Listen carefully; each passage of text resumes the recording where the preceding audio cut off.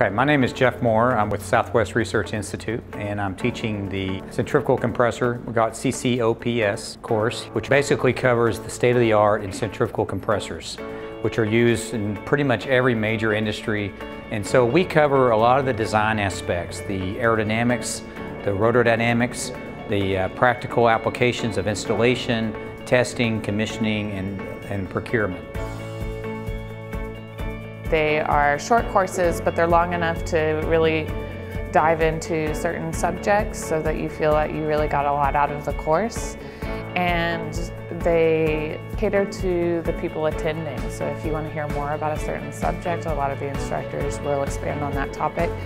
Texas A&M is very committed to continuing education. The short courses offered through the Turbo Lab are definitely unique in the industry. And what really makes it is not only cutting edge uh, technology that's being discussed, but it's also, uh, you really have uh, first class instructors. These are people who have had many, many years of experience in industry, in consulting fields, as well as uh, with OEMs. And so it's a good mix.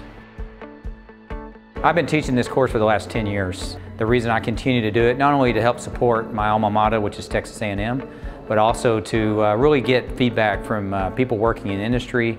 It helps me in my job, and I just enjoy the dialogue.